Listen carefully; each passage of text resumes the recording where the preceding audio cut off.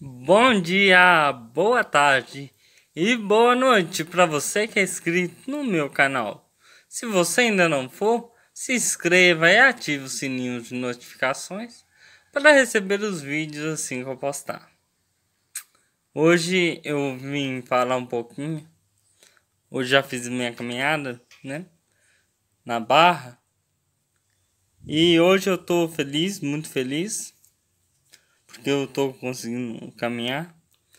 E eu tenho uma palavrinha para falar com vocês. Fé. Fé. Não adianta você querer ter fé.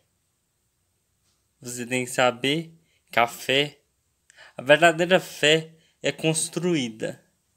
Você constrói a sua fé.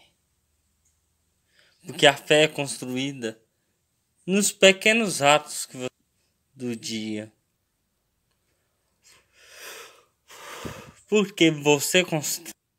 não tem nada mais importante. A fé construída, a fé genuína, você construir a sua fé. A fé raciocinada.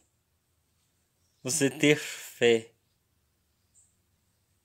Fé raciocinada, você raciocinar sua fé é muito importante porque a fé maior é você acreditar que você pode conseguir fazer uma coisa que você não faz há muito tempo, mas você ter fé que você vai conseguir. Porque a fé ela não move a montanha, ela move montanhas. Mas a montanha maior que é para a montanha maior que é para ser movida a montanha da ignorância, a montanha do desrespeito. Se você não respeitar do seu próximo, para que você vai ter fé? Porque fé é isso.